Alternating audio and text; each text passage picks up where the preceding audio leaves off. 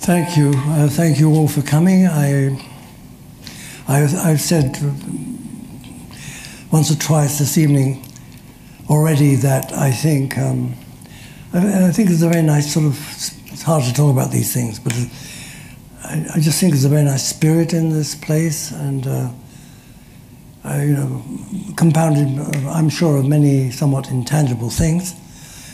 And I've been here before, of course, but I've never Never been in this lecture hall, so pretty astonished by this. The, the comfort and the intimacy of this space. Am I, am I uh, talking? Is it all right? Can you hear me? I hope. And, uh, and I realize I don't have that much time. I mean, I'm told I should carry on for about an hour, and then um, my colleague uh, Nader Vossoughian will uh, engage with me for a while.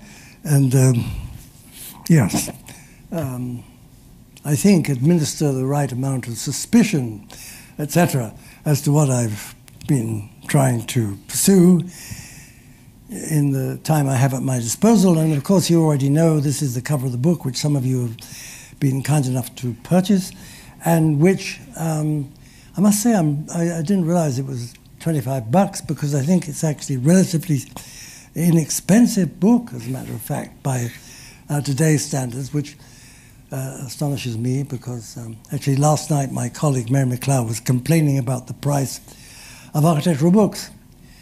So this is the cover of this thing. Actually, I never. It's very funny. I, I was very involved in the design. It's Lars Muller, of course, and Lars uh, got very impatient with me in particular, because of course we never, we were late, uh, or, you know, delinquent, and uh, we had um, Yes, we had a kind of disagreement about the cover. Well, I, I had a more elaborate cover. I think he has the right cover. It, anyway, it's as good as any other. I'm not entirely sure about the color, but who, what can I say? Anyway, um, why don't I get down to the topic and uh, stop um, digressing about graphics.